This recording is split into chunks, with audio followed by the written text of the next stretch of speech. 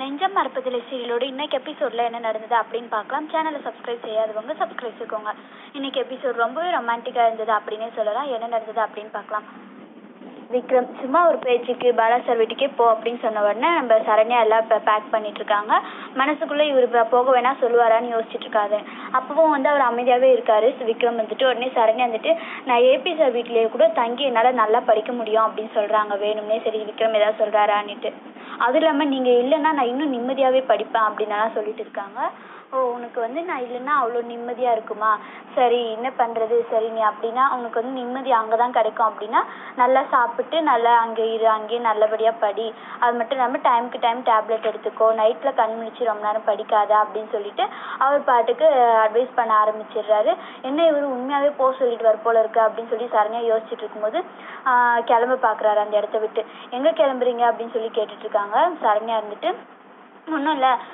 நீ நான்லாம் ட்ராப் பண்ண மாட்டேன். டாக்ஸி பிடிச்சி நீயே போய்க்கோ அப்படின்னு சொல்லிட்டு இருக்காங்க எனக்கு வழி தெரியாது. அப்படி இப்படின்னு சரண்யா சும்மாவே போய் சொல்லின்னு இருக்காங்க பரவாயில்ல இதான் உனக்கு ஃபஸ்ட்டு நிம்மதியாக இருக்கிறதுக்கான ஃபஸ்ட்டு இது.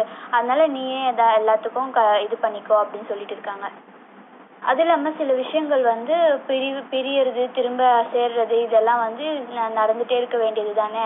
அது மட்டும் இல்லாமல் நான் இல்லாத வாழ்க்கை தான் உனக்கு பிடிச்சிருக்குன்னா அதையும் நான் அக்செப்ட் பண்ணிக்க ரெடி அப்படின்னு சொல்லிட்டு கிளம்ப பார்க்குறாரு உடனே கைப்பிடிச்சி இல்லை இருங்க நான் உங்களை விட்டு போகவே மாட்டேன் அப்படின்னு சொல்லின்னு இருக்காங்க. உங்களால் என்னை விட்டு இருக்க முடியாது தானே அப்படின்னு சொல்லி அழுக ஆரம்பிச்சிடுறாங்க. உடனே விக்ரமும் அழுதுகிட்டே அமைதியாக இருக்காரு.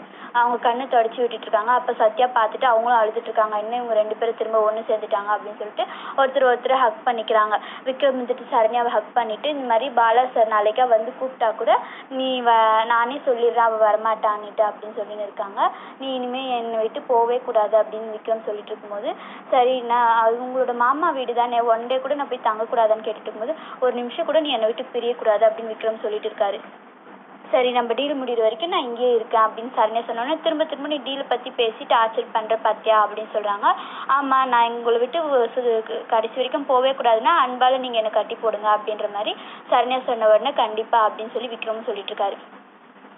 இன்னொரு பக்கம் சரண்யா சத்யா இருந்துட்டு இவங்க ரெண்டு பேரையும் பார்த்துட்டு இந்த சரண்யா இருக்கிற வரைக்கும் நீ என்னை திரும்பி பார்க்காம ஓடிக்கிட்டே தான் இருப்ப விக்ரம் அப்படின்னு சொல்லிட்டு அவங்க பாட்டுக்கு போயினே இருக்காங்க. எதுவுமே இது பண்ணாம.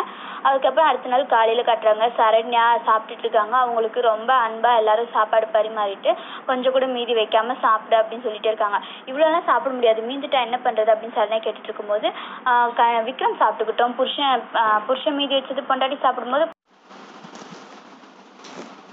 சாப்பிடும்போது பொண்டாட்டி மீதி வச்சதை புருஷன் சாப்பிடக்கூடாதா? என்னன்னு பிரியா கேட்டுட்டு அதில் அதெல்லாம் எந்த காலம் அண்ணி அப்படின்னு சொல்லிட்டு சரண்யா கேட்டுட்டு இருக்கும்போது உடனே பெரியத்தை பேச ஆரம்பிச்சிடுறாங்க. நாங்களாம் அந்த காலத்தில் அப்படி தாண்டி இருந்தோம் அப்படி இப்படின்னு சொல்லி திரும்ப சண்டையை ஸ்டார்ட் பண்ணுறாங்க அப்போ விக்ரம் வந்து நிறைய ஒரு தார் செவ்வாழை இளநீர் இன்னும் என்னென்னவோ வாங்கிட்டு வந்து இறக்குறாரு.